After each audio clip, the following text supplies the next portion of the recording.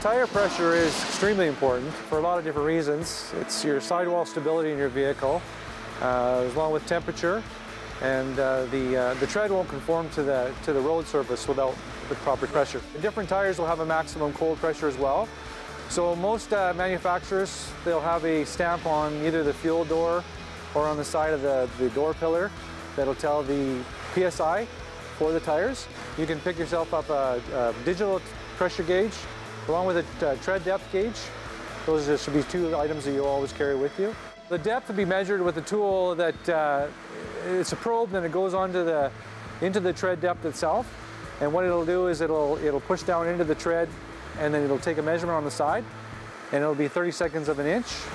Uh, and then uh, there's a recommendation on that tire, what the minimum recommendation is for that tire.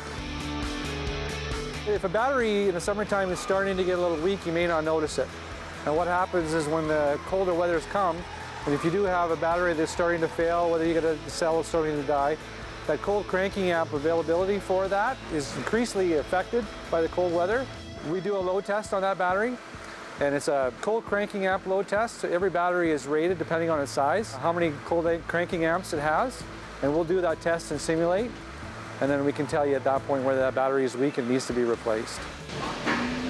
We recommend that you run a winter wiper blade in the winter time and a summer in the summertime for sure. So you're looking at, you know, are they streaking? Are they, are they, you know, are they properly clearing your windshield, of course? Are they sticking onto the windshield? Those kind of things. Maybe when you are brushing your vehicle off, check that leading edge to make sure that it's not starting to peel.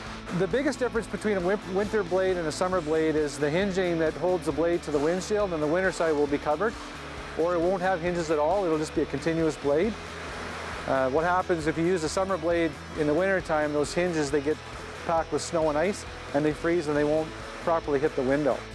The coolant is there to maintain a, a certain engine temperature, all right, along with supplying the hot coolant to the heater core for the heater inside the vehicle.